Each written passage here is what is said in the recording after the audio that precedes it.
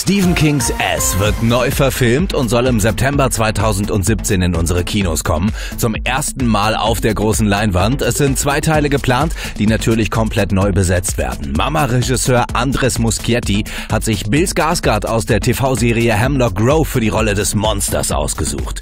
Clowns sind ja seit jeher gruselig, aber der neue Pennywise setzt da wirklich neue Maßstäbe. Zum Vergleich, das hier ist S aus dem Film aus dem Jahr 1990.